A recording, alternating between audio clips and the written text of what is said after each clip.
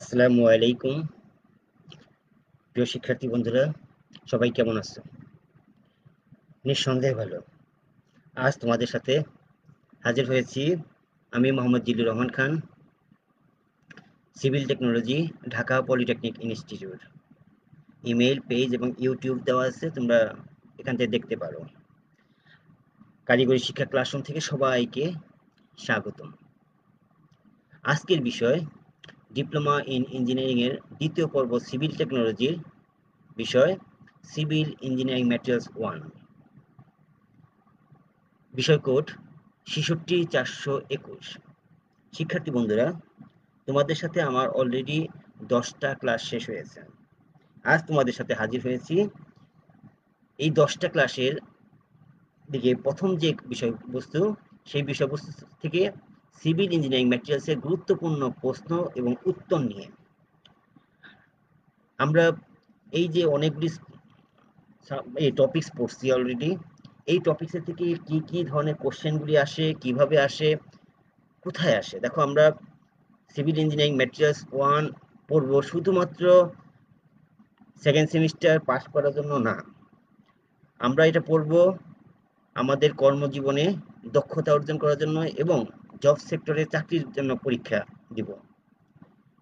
তাহলে এই সাবজেক্টটার গুরুত্ব অত্যন্ত বেশি। কারণ, আমি যখন কাজ করতে যাব, এই ম্যাটেরিয়াল সম্বন্ধে জানতে হবে। আবার পাশাপাশি যখন জব নিয়োগ পরীক্ষা দিতে যাব, এই পরীক্ষার, এই কোশ্চেন থেকে অনেক ধরনের কোশ্চেনগুলি আসে। বন্ধুরা, এই কারণে আজকে আমি আজকে এবং আগামী ক্লাস এই দুটি ক্লাস বিভিন্ন কোশ্চেন নিয়ে এবং তার উত্তর নিয়ে ডিসকাশন করব। দেন আবার আমরা আমাদের টপিকসে চলে যাব এবং পরবর্তী আবার কোশ্চেন উত্তর নিয়ে আসব। আশা করি বন্ধুরা এখান থেকে তোমরা বেশ উপকার পাবা এবং এই কোশ্চেনগুলি অবশ্যই ভালো করে পড়বা, কারণ এগুলি অত্যন্ত ইম্পর্টেন্ট কোশ্চেন যাই হোক বন্ধুরা, চলো দেখি আজকে আমাদের প্রথম কোশ্চেন কি। প্রথম যে কোশ্চেনটা আছে সেটা কি? সিভিল ইঞ্জিনিয়ারিং ম্যাটেরিয়ালস কি? শিক্ষার্থী বন্ধুরা সিভিল ইঞ্জিনিয়ারিং ম্যাটেরিয়ালস এত ব্যাপকভাবে আমরা ব্যবহার করি যার সংজ্ঞা বোঝানোর আগে আমাকে কিছু চিত্র দেখানো হচ্ছে। এক, বিভিন্ন ভবন আমরা নির্মাণ করি। একবারে একতলা থেকে সুউচ্চ ভবন পর্যন্ত। যেমন এই যে একটা ভবন, দুবাই স্কাই স্কাপার একটা ভবন। আবার আছে কি? রোডস রাস্তার কাজে আমরা কাজ করি। তারপরে আমাদের স্বপ্নের পদ্মা সেতু, আমাদের কর্ণফুলি টাওয়েল টানেল, পাইপলাইন, এই যে ফ্লাইওভার। দেখো বন্ধুরা, এই যে চিত্রগুলি দেখলাম, এটি কি প্রত্যেকটা আমাদের অবকাঠামো? এই প্রত্যেকটা অবকাঠামো আমরা কারা করি? আমরা সিভিলরা এটা ডিজাইন করি, এটার নির্মাণ করি এবং সুপারভিশন করি। দেখো বন্ধুরা, এই যে বিষয়গুলি আসলো, তাহলে এই অবকাঠামোগুলি কি একটাও ম্যাটেরিয়াল ছাড়া হয়েছে, তা কিন্তু না। তাহলে এখানে আমাদের কি লাগছে? অনেক ধরনের ম্যাটেরিয়ালস লাগছে। তাহলে দেখো, আমরা সিভিলে বর্তমানে আসলে অনেক ম্যাটেরিয়ালস আছে, যেটা আমি বর্তমান ইয়ে বলব প্রায় হাজার পাঁচেক ম্যাটেরিয়ালস নিয়ে আমি কাজ করি। বাট এই যে হাজার পাঁচেক ম্যাটেরিয়ালসের মধ্যে আমাদের তোমাদের মাত্র আছে কি? সর্বোচ্চ আছে বিশ থেকে বাইশটা ম্যাটেরিয়ালস নাম। তাহলে তুমি এই যে কাজ করতে যাবা প্রচুর ম্যাটেরিয়াল সম্বন্ধে তোমাকে আইডিয়া রাখতে হবে। এই যে কাজ করার মাধ্যমে এবং বাজার ঘোরার মাধ্যমে আমি ম্যাটেরিয়ালগুলি সংগ্রহ করব এবং এর যাচাই বাছাই এবং দাম সম্পর্কে আইডিয়া নিব এবং এর গুণাগুণ আইডিয়া নিব। তাহলে বন্ধুরা, এই যে নির্মাণ সামগ্রীতে আমাদের যে সমস্ত ম্যাটেরিয়ালসগুলি ব্যবহার হয়, সেই ম্যাটেরিয়ালসগুলি কি? এটাই তো আমাদের প্রকৌশলী ম্যাটেরিয়ালস তাহলে আমরা সংজ্ঞা আকারে একটু দেখি। প্রকৌশল নির্মাণের গুণগত মান, শক্তি ও স্থায়িত্ব বিবেচনা করে নির্মাণে ব্যবহৃত সামগ্রীকে সিভিল বা প্রকৌশল সামগ্রী বলে। অর্থাৎ আমি যে ম্যাটেরিয়ালসগুলি ব্যবহার করব, তার কি দেখব? শক্তি দেখব, এর গুণগত মান দেখব এবং এর স্থায়িত্ব বিবেচনা করে দেখব। এই যে বিভিন্ন অবস্থা বিবেচনা করে আমরা যে ম্যাটেরিয়ালসগুলি নির্বাচন করি, সেই ম্যাটেরিয়ালসগুলি আমাদের প্রকৌশল বা সিভিল প্রকৌশল সামগ্রী বা সিভিল ইঞ্জিনিয়ারিং ম্যাটেরিয়ালস তাহলে এটাকে আরেকটু ব্যাখ্যা করি। প্রকৌশল নির্মাণের বিভিন্ন ধরনের সামগ্রী ব্যবহার করা হয়। একজন প্রকৌশলীর উক্ত নির্মাণ উক্ত সামগ্রী নির্বাচন করতে হয়। এই নির্বাচনের উপরে নির্মাণের মান, স্থায়িত্ব, সৌন্দর্য ও নিরাপত্তা নির্ভর করে। তাই প্রকৌশলী সামগ্রী ধর্ম ও গুণাবলী ও বৈশিষ্ট্য উপর প্রকৌশলীর যথাযথ ধারণা থাকা প্রয়োজন। তাহলে বন্ধুরা, এখান থেকে বুঝতে পারতেছো যে তোমাদের এই ম্যাটেরিয়াল সম্বন্ধে জানাটা কতটা জরুরি। কারণ এখানে কতগুলো বিষয় দেখো, স্থায়িত্ব, সৌন্দর্য, নিরাপত্তা, সব কিসের উপর ডিপেন্ড করতেছে এই ম্যাটেরিয়ালসের কার উপরে? এর ধর্ম, গুণাবলী এবং বৈশিষ্ট্যের উপরে। তাহলে আমরা যে ম্যাটেরিয়ালসগুলি শিখব, শুধু কি ম্যাটেরিয়ালস নাম শিখব? তা না। এর স্থায়িত্ব জানব, এর গুণাবলী জানব এর ধর্মগুলি জানব, এর বৈশিষ্ট্য জানব। তাহলে বন্ধুরা, এই সমস্ত বিষয় বিবেচনা করে যে ম্যাটেরিয়ালসগুলি আমরা ব্যবহার করি, সেটাই আমাদের প্রকৌশল সামগ্রী। চলো বন্ধুরা, দুই নম্বর কোশ্চেনে আমি চলে যাই। এখানে আছে কি, সিভিল ইঞ্জিনিয়ারিং ম্যাটেরিয়ালসের শ্রেণি বিভাগ। শ্রেণি বিভাগগুলো হলো কি, মূলত দুই প্রকার। একটা কি ধাতুজাত সামগ্রী আর একটা অধাতুজাত সামগ্রী। এই ধাতুজাত সামগ্রীর মধ্যে আছে লৌহজাত সামগ্রী। অলৌহজাত সামগ্রী। তাহলে এই যে ধাতু জাতের মধ্যে লৌহ এবং অলৌহ, এই লৌহজাত সামগ্রীর মধ্যে কি? কার্বন ইস্পাত, শঙ্কর ইস্পাত, ঢালাই লোহা, পেটা লোহা, মৃদু ইস্পাত এবং অন্যান্য শঙ্কর ইস্পাত। আর অলৌহ জাতীয় মধ্যে আছে কি? অ্যালুমিনিয়াম সংকর ম্যাগনেশিয়াম শঙ্কর। এই যে বিষয়গুলি, এটি কি আমাদের ম্যাটেরিয়ালসের উপাদানগুলি। এই পর্যায়ে আমরা দেখি সিভিল ইঞ্জিনিয়ারিং ম্যাটেরিয়ালস নির্বাচনে বিবেচ্য বিষয়গুলি কি? এটা খুবই ইম্পর্টেন্ট একটা কোশ্চেন কি বিবেচনা করতে হয়? এক, এর শক্তি। যদি শক্তি না থাকে তাহলে কি আমাদের কাঠামো দাঁড়ায় থাকতে পারবে? অবশ্যই লাগবে শক্তি। স্থায়িত্বতা। মূল্য। আমরা যেন বাজার বা কম মূল্যে ভালো ম্যাটেরিয়ালস পাই। অর্থাৎ আমাদের মূল্যটা যেন ইকোনমিক্যাল হয়। সহজেই ব্যবহারযোগ্য ও গুদামজাতকরণ। আমি এমন একটা ম্যাট্রেস আনলাম যেটা আমি গুদামজাত করতে পারি না, নষ্ট হয়ে যায়। তাহলে কি আমার হবে হবে না। এবং সহজে ব্যবহারযোগ্য, আমি ব্যবহার যেন করতে পারি। এমন একটা ম্যাটেরিয়াল সিলেক্ট করলাম যেটা ব্যবহারই করতে পারি না। তাহলে অবশ্যই তার ব্যবহারযোগ্যতা এবং গুদামজাতকরণ ক্ষমতা থাকতে হবে।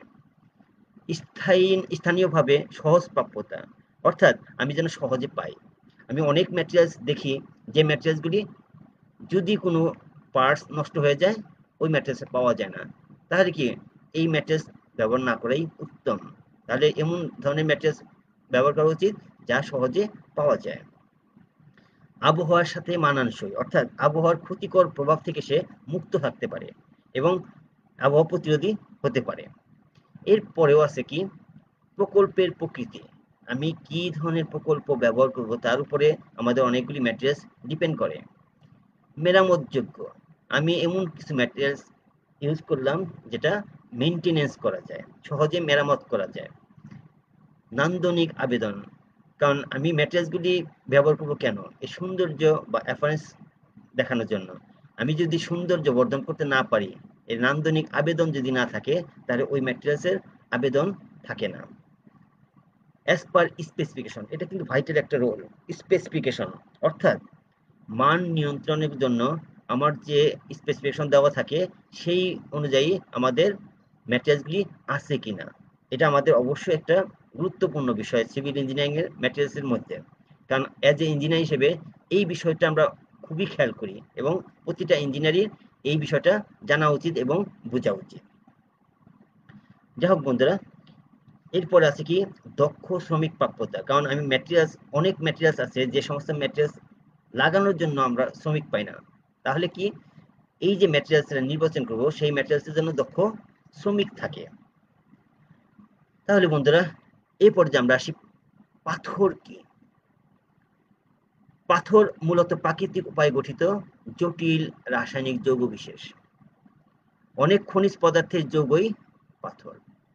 পাথর শিলা হতে সংগৃহীত শক্ত জিরো সমসত্ব, ক্ষয়রোধী, টেকসই ওজনে ভারী।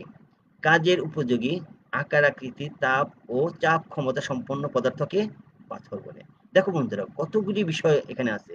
এক কি শক্ত? এর থাকবে দৃঢ়বদ্ধতা। এর থাকবে সমসত্ব। ক্ষয় রোধী টেকসই মানে ক্ষয় হবে না, টেকসই হবে। ওজনে ভারী হতে হবে। এবং কাজের উপযোগী আকার আকৃতি থাকতে হবে। কারণ আমি অনেক বড় ধরনের পাথর পেলাম। সেটা কি? ভেঙে ছোট ছোট টুকরা করতে পারব। পাশাপাশি কি? তাপ এবং চাপ সহ্য ক্ষমতা থাকতে হবে। এই যে বিষয়গুলি বিবেচনা করে যে পদার্থ নির্বাচন করি সেটাই পাথর। তাহলে কি? পাথর মূলত কি? রাসায়নিক, জটিল রাসায়নিক যৌগ বিশেষ এ পর্যায়ে আমরা আসি পাঁচ পাথরকে নির্মাণ সামগ্রীর রাজা বলা হয় কেন? এটা অনেক ইম্পর্টেন্ট একটা কোশ্চেন আদিকালে মানুষ আত্মরক্ষার হাতিয়ার হিসেবে পাথর ব্যবহার করত। কালক্রমে এই পাথর নির্মাণের প্রধান উপকরণে পরিণত হয়। পাথর খুবই শক্ত, মজবুত, দীর্ঘস্থায়ী এবং আবহাওয়া ও পারিপার্শ্বিক অবস্থায় পাথর তেমন ক্ষতি সাধন হয় না। নির্মাণ সামগ্রীর মধ্যে পাথরকে, পাথরের ন্যায় স্থায়িত্বশীল সামগ্রী আর একটিও নেই।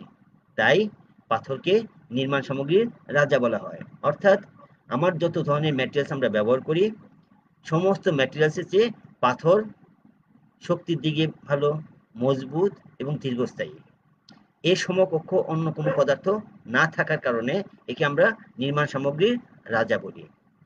আশা করি বন্ধুরা এই বিষয়গুলি পরিষ্কারভাবে বুঝতে পারছ। এ পর্যায়ে আমরা আসি পাথরের শ্রেণি বিভাগ। পাথরের শ্রেণি বিভাগগুলি কি? পাথর।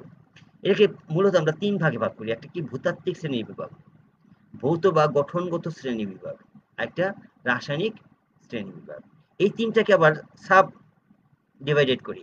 যেমন ভূতাত্ত্বিক শ্রেণি বিভাগের মধ্যে আগ্নেয় পাথর, পাললিক পাথর এবং রূপান্তরিত পাথর, এই তিনটা ভাগে ভাগ করি।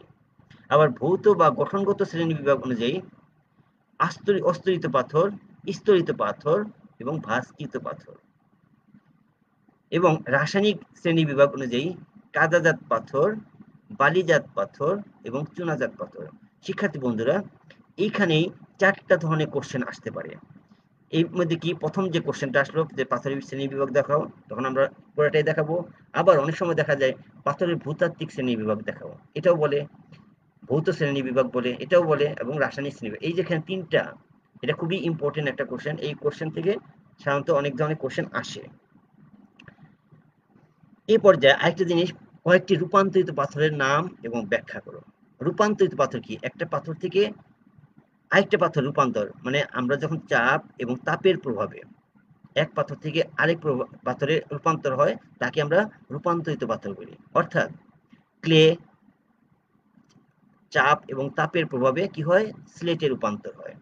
লাইম স্টোন চাপ এবং তাপের প্রভাবে মার্বেলে পরিণত হয়। স্যান্ড স্টোন চাপ এবং তাপের প্রভাবে কোয়ার্টজাইট এ পরিণত হয়। গ্রানাইট, তাপ এবং চাপের প্রভাবে নিস এ পরিণত হয়।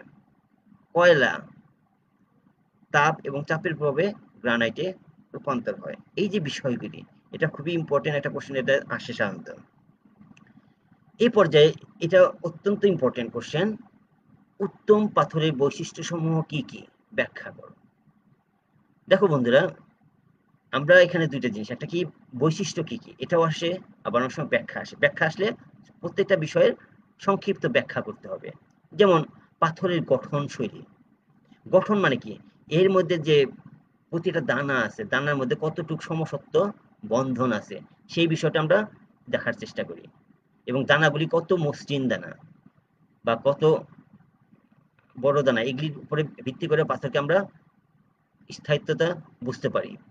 পাথরের গঠন টেক্সচার এর যে লেয়ারগুলি আছে, সেই লেয়ারগুলি কেমন বা তার গঠনগুলি কেমন? সছিদ্রতা, এর ভিতরে ছিদ্রতা কেমন আছে? শোষণ ক্ষমতা কেমন? পানি যে আমি দিব, এই পানি কতটুকু শোষণ করতে পারে? যদি বেশি পানি শোষণ করে, সেটা ভালো পাথর না। আপেক্ষিক গুরুত্ব, অর্থাৎ পানির চেয়ে কত গুণ ভারী? আমরা এই বিষয়টাগুলি অবশ্যই যাচাই করব। কাঠিন্য বা ঘাতসন ক্ষমতা ও শক্তি, অর্থাৎ এর কঠিন হতে হবে এবং যে কোনো ঘাত বা প্রতিঘাত সহ্য করার ক্ষমতা থাকতে হবে এবং চাপ শক্তি বহন করার ক্ষমতা থাকতে হবে। ছয়, ক্ষয় রোধ ক্ষমতা, অর্থাৎ আমি যখন পাথরকে পরস্পর ঘষা দিব, সেখানে দেখব যে এর মধ্যে কোনো ক্ষয় হয় কিনা। ক্ষয়ের পরিমাণটা কতটুকু? যদি কম থাকে, ভালো। আর যদি বেশি হয়, তাহলে মন্দ। বাহ্যিক অবয়ব ও বর্ণ। অর্থাৎ এই যে বাহ্যিক অবয়ব দেখেও আমি বলতে পারি, এটা ভালো পাথর বা খারাপ পাথর। তাপ সহন ক্ষমতা, এ কতটুকু তাপ সহ্য করতে পারে? কারণ আমরা জানি কি, পাথর তাপ সহ্য করতে পারে বাট অনেক পাথর তাপ সহ্য করতে পারে না। তাহলে আমরা এখান থেকেও একটা যাচাই বাছাই করব যে এটা ভালো না মন্দ। কার্য সুবিধা কারণ আমি কোন কাজের জন্য কোন ধরনের পাথর নির্বাচন করব? কাজের উপর রেসপেক্টেড ভিত্তি করে এর একটা সুবিধা আমরা পাই। যেমন অলঙ্কারমূলক কাজে হইতে পারে, তারপরে শৌখিন কোনো কাজ হইতে পারে, আবার নির্মাণ সামগ্রীর স্থায়িত্ব কাঠামো নির্মাণে হইতে পারে। বিভিন্ন কারণ। এই পাথর থেকে একদম হীরা পাই। হীরা একটা কি? সৌন্দর্য বা অলঙ্কারমূলক কাজ। আবার সৌন্দর্য আমরা মার্বেল পাথর ইউজ করি, যেমন ফিনিশিং কাজের জন্য। আবার গ্রানাইট পাথর ইউজ করি আমরা। বিভিন্ন ইয়ের সৌন্দর্য বর্ধনের জন্য। আবার এই গ্রানাইট থেকে এটাকে ভাঙায় আমরা কি করি? এই খোয়া তৈরি করি সেটা কি চাপ শক্তি বহন করার জন্য। তাহলে এই যে বিভিন্ন কাজের সুবিধা কোনটা আছে সেটা আমাকে আইডেন্টিফাই করতে হবে। তার বিষয়গুলি আশা করি তোমরা বুঝতে পারছ। এরপর যে আমরা আসি, পাথরের মাঠ পরীক্ষা সমূহ ব্যাখ্যা করো। তাহলে আমরা মাঠে কি কি ধরনের পরীক্ষাগুলি করি? দেখো আমরা প্রথমে কি করি? ওজন পরীক্ষা করি। এটা কি করি? একই আকারের দুইটা পাথর দুইটা হাতে নেই। দুই হাতে নেওয়ার পরে এর একটা অনুভব, অনুভূতি দেখি যে দুই হাতের মধ্যে কোনটা একটু ভারী লাগতেছে। যেটা ভারী, ওই পাথরটা ভালো। একই একই আকারে কিন্তু নিতে হবে।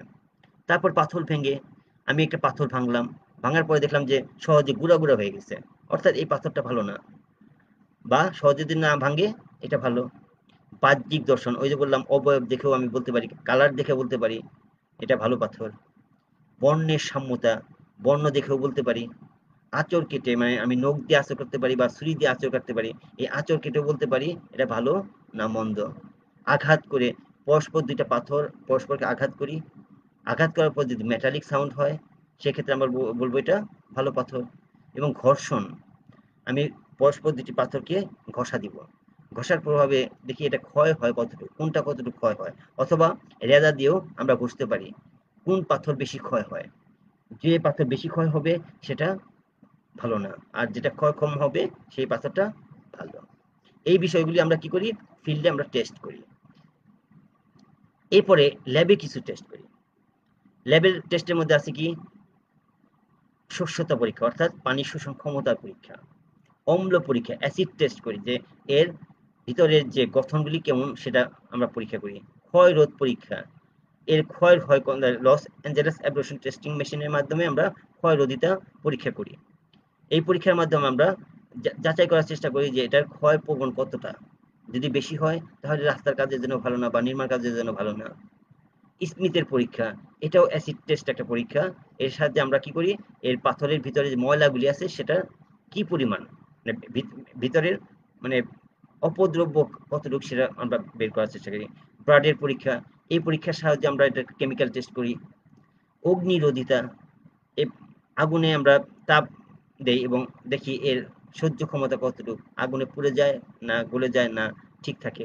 এই বিষয়গুলি আমরা পরীক্ষাগারে টেস্ট করি। এর বাইরেও আরও কিছু টেস্ট করি। যাই হোক বন্ধুরা, এই পর্যায়ে আমরা আসি সিমেন্ট কি। সিমেন্ট কি? সিমেন্ট আমরা এই যে বিভিন্ন গুড়া গুড়া পদার্থ আমরা দেখতে পাচ্ছি, পাশাপাশি ব্যাগ, এই বিষয়গুলি আমরা কিন্তু অনেকেই চিনি এবং দেখি।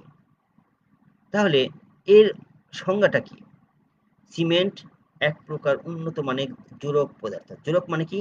বাইন্ডিং ম্যাটেরিয়ালস মানে বন্ধনী গুণসম্পন্ন পদার্থ।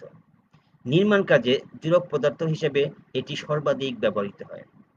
ক্যালসিয়াম ও ম্যাগনেসিয়াম যৌগ সম্বলিত চুনজাত সামগ্রী বা ক্লিঙ্কারকে ক্রাশারের সাহায্যে মিহি পাউডারে পরিণত করে সিমেন্ট তৈরি করা হয়। জোরক পদার্থ হিসেবে এর ব্যবহার এত বেশি যে উন্নত বন্ধন সামগ্রী হিসেবে সিমেন্টের কোনো বিকল্প নাই। অর্থাৎ আমরা এই সিমেন্ট মূলত ব্যবহার করি কিসের জন্য? আমাদের একটা বন্ধনী সামগ্রী হিসেবে ব্যবহার করি। এবং এর মূল উপাদান কি? ক্যালসিয়াম ও ম্যাগনেসিয়াম যৌগ। একটা চুনজাত সামগ্রী। যা ক্লিঙ্কারের সাহায্যে ক্রাশ ক্লিঙ্কারকে ক্রাশের সাহায্যে মিহি পাউডারে পরিণত করে এর সাথে জিপসাম অ্যাড করে সিমেন্ট তৈরি করা হয়। তাহলে এর ব্যবহার এত বেশি যে এই সিমেন্টের বিকল্প আর কোনো বন্ধনী সামগ্রী আমরা পাই না।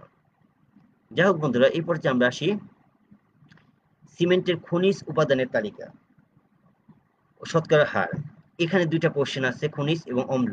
এই দুইটাও খুব ইম্পর্টেন্ট কোশ্চেন যেমন খনিজ উপাদানের মধ্যে আছে কি? Tricalcium silicate fifty percent dicalcium silicate twenty percent twenty five percent tricalcium aluminate ten percent tetracalcium alumino ferrite ten percent calcium sulphate three percent ও অন্যান্য যৌগ, দুই পার্সেন্ট মোট হান্ড্রেড পার্সেন্ট এই যে উপাদানগুলি, এই উপাদানটাকে আমরা বলি খনিজ উপাদান। এটা অনেক ধরনের, অনেক পরীক্ষায় আসে। তোমরা একটু মনোযোগ সহকারে গিয়ে পড়বা। এরপর যে আমরা একটিতে আসি অম্ল বা ক্ষারকীয় উপাদান। এটাও খুব ইম্পর্টেন্ট কোশ্চেন এটাও আসে। যেমন লাইম বা ক্যালসিয়াম অক্সাইড তেষট্টি পার্সেন্ট সিলিকা বাইশ percent alumina seven percent iron oxide three percent magnesium oxide two percent sulphur trioxide two percent potassium ও sodium oxide point three percent ক্ষারকীয় পদার্থ। Point seven percent. এই বিষয়গুলি, এই যে উপাদানগুলি, এগুলি বিভিন্ন সময় বিভিন্ন পরীক্ষা আসে, তোমরা এগুলি অবশ্যই মনোযোগ সহকারে পড়বা কারণ সামনেই তোমাদের পরীক্ষা। পরীক্ষা যখনই হবে, এই ধরনের কোশ্চেনগুলি তোমরা অবশ্যই মনে রাখবা। তাহলে বন্ধুরা এই পর্যায়ে আমরা আসি সিমেন্টের, বাংলাদেশে উৎপাদিত সিমেন্টের শ্রেণি বিভাগ ব্যাখ্যা করো। দেখো বন্ধুরা, আমরা বাংলাদেশে যে সিমেন্টগুলি তৈরি করি, আমরা বহুল ব্যবহৃত হিসেবে দুই ধরনের সিমেন্ট বেশি ব্যবহার করি। তাহলে কি?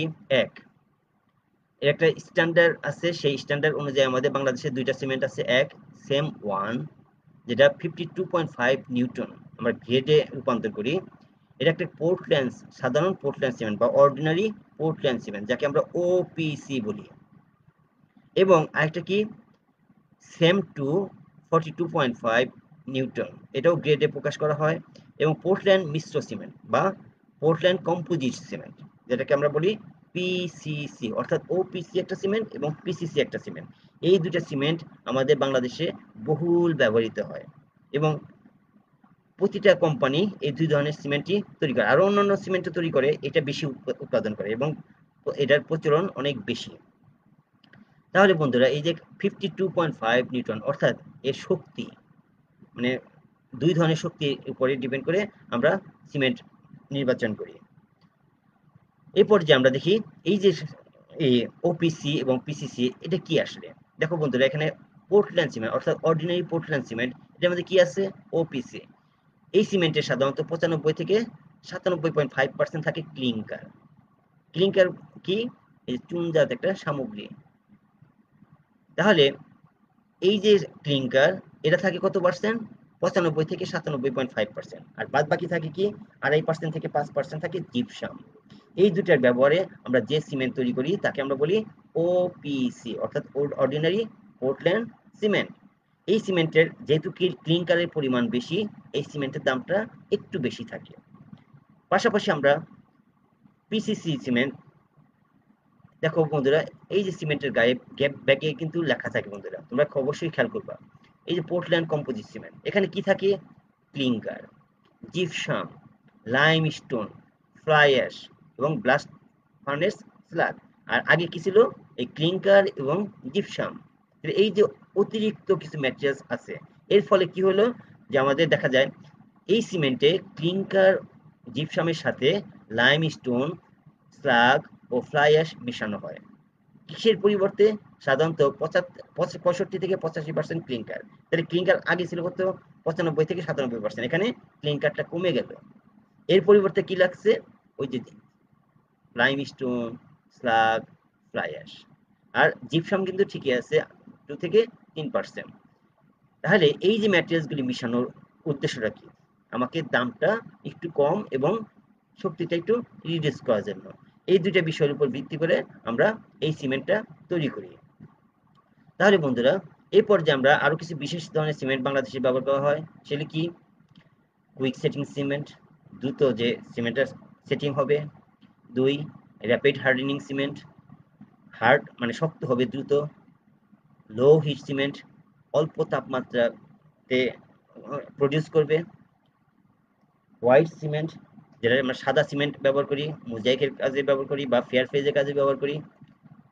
কালার সিমেন্ট, বিভিন্ন কালারের সিমেন্ট পাওয়া যায়, লাল, গ্রে, হলুদ এক্সেট্রা বিভিন্ন কালার, এই কালার আমরা সিমেন্ট ব্যবহার করি।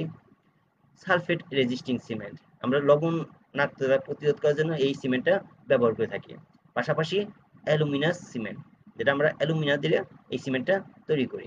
এই যে বিষয়গুলি এই ধরনের সিমেন্টও কিন্তু বিভিন্ন কাজে বিভিন্ন কোম্পানি তৈরি করে। যদিও এগুলি ব্যবহার একটু কম, এর মধ্যে দেখা যায় হোয়াইট সিমেন্টের পরিমাণটা বেশি, অন্যান্য সিমেন্ট একটু কম, তারপরেও এই সিমেন্টগুলি আমরা তৈরি করি এবং ব্যবহার করি। যাই হোক বন্ধুরা, এই পর্যায়ে আমরা আসি।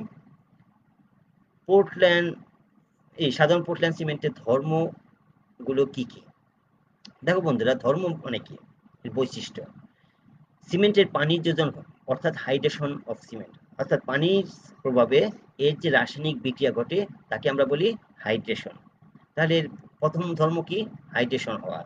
দুই জমাটবদ্ধতা সেটিং যে কত দ্রুত এবং কত লেন্দিতে এই জমাট বাঁধে। এর দুইটা সেটিং আছে। একটা কি?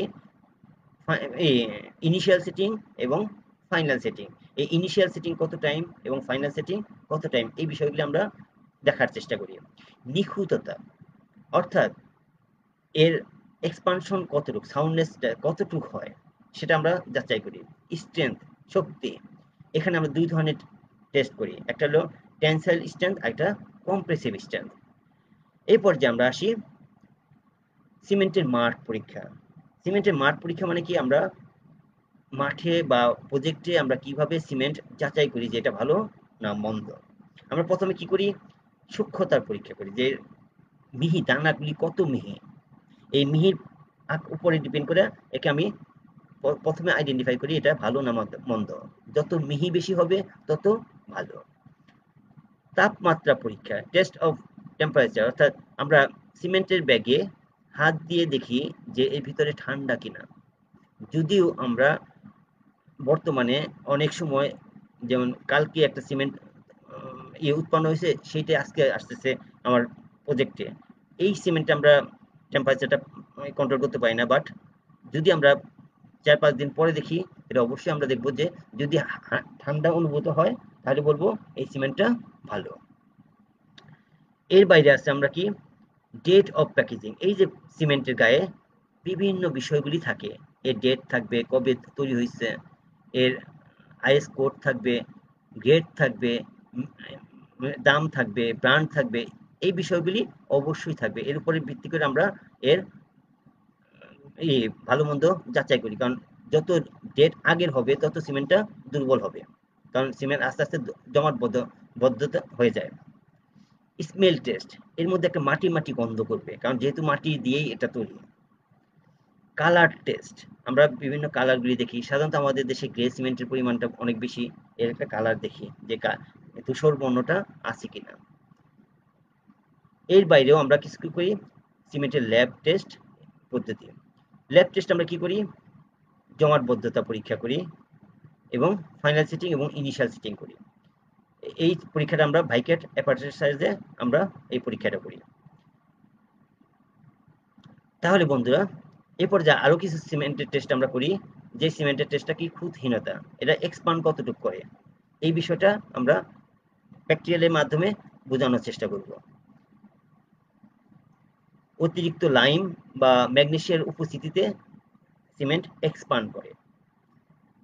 এর বাইরে আছে কি রাসায়নিক গঠন? আমরা এই বিভিন্ন কম্পোনেন্টগুলি ঠিক মতো আছে কিনা আমরা কম্পিউটারের মাধ্যমে যাচাই করি। আশা করি বন্ধুরা, বিষয়গুলি বুঝতে পারতেছো। এর বাইরে আছে কি শক্তি? টেনসাইল স্ট্রেংথ, যা আমরা বিকয়েড টেস্টের মাধ্যমে আমরা করি। এর বাইরে আছে কি চাপ শক্তি? সিমেন্টের চাপ শক্তি পরীক্ষা, এটা খুবই ভাইটাল একটা কোশ্চেন এটা অবশ্যই তোমরা ভালো করে পড়বা। চাপ শক্তি যে আমরা সিমেন্টের সিলিন্ডার বানাই বা কিউব বানাই, এই কিউবকে আমরা চাপ দিই। চাপ দেওয়ার পরে একটা নির্দিষ্ট সময় চাপ দিই। চাপ দিয়ে তার শক্তি পরীক্ষা করি যে কতটুকু চাপে সে ভেঙে যায়। এই ভেঙে যাওয়ার আগ পর্যন্ত যে চাপটা সে সহ্য করতে পারে, এইভাবে আমরা চাপ শক্তি পরীক্ষা করি। আশা করি বন্ধুরা, এই যে বিশটা কোশ্চেন আমি দিলাম, এই কোশ্চেনগুলি তোমরা মনোযোগ সহকারে পড়বা এবং ভালো করে দেখার চেষ্টা করবা। সবাই ভালো থাকো সুস্থ থাকো আল্লাহ হাফেজ।